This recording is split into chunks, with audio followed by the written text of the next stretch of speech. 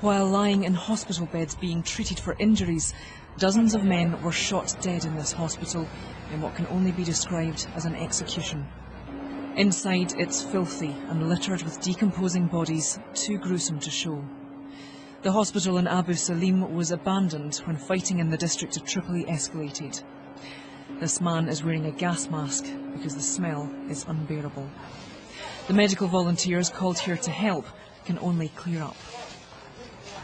We just collect the body and we uh, will go to uh, to put them in the other hospital in uh, Tripoli, Tripoli Hospital, the big hospital. It's not known who killed the men, but many appear to have been sub-Saharan African, similar to mercenaries that Gaddafi had recruited. These may have been score-settling executions. The lawlessness has concerned many. There is an urgent need to put an end to the conflict and restore order and stability. All agree that if the Libyan authorities request, we should be prepared to help develop a police capacity, uh, bearing in mind that the country is awash with the small arms. This district of Tripoli has been at the centre of fierce fighting.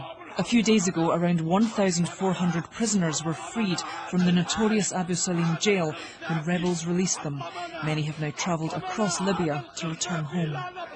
At this port in Benghazi, a crowd of anxious relatives gather.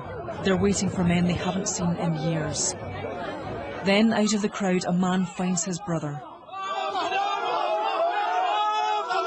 For the rebels, these scenes justify the months of fighting to overthrow Gaddafi. Many of these people were thrown into prison because they opposed Gaddafi and his regime. Now they feel they are free of him. I was in Abu Salim prison, but finally we obtained a great victory and expelled the tyrant. Gaddafi no longer rules us. He has lost his legitimacy and may Allah punish him.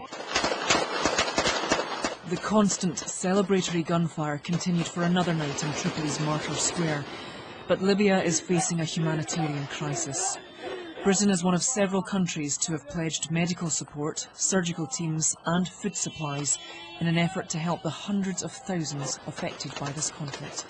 Jane Dougal, Sky News.